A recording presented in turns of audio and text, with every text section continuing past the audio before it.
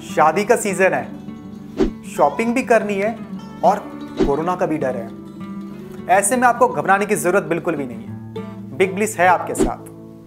अभी डाउनलोड करें big bliss app और सिर्फ़ 10 मिनट में पाए अपना सारा सामान। बिग ब्लिस खुशियों की अपनी दुकान।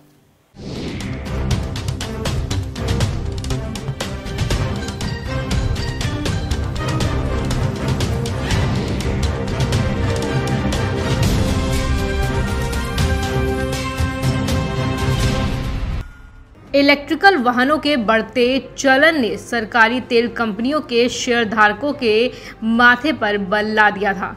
इस बीच इन कंपनियों ने स्वच्छ एवं हरित ऊर्जा के क्षेत्र में भी कदम बढ़ाकर खुद को समय के साथ फिट कर लिया है। देश में स्वच्छ एवं हरित ऊर्जा के प्रति लोगों के बढ़ते रुझान को देखते हुए सरकारी तेल कंपनियों ने भी इस सेक्टर में निवेश करना शुरू कर दिया है।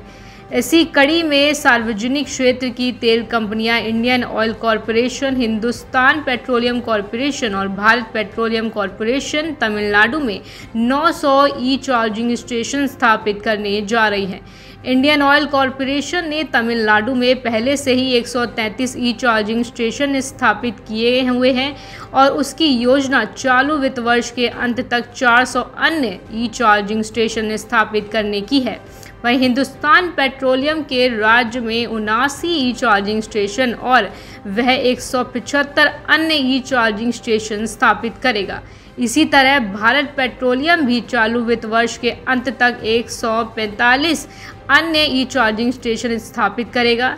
इंडियन ऑयल के एक अधिकारी के मुताबिक ई चार्जिंग स्टेशन की संख्या बढ़ने से इलेक्ट्रिकल वाहनों की बिक्री बढ़ेगी। ई चार्जिंग स्टेशन से लोग यात्रा के दौरान भी अपने वाहन बैटरी की रिचार्ज कर पाएँगे। सूत्रों के मुताबिक एक ई चार्जिंग स्टेशन की स्थापना में एक करोड़ रुपए का निवेश होता है।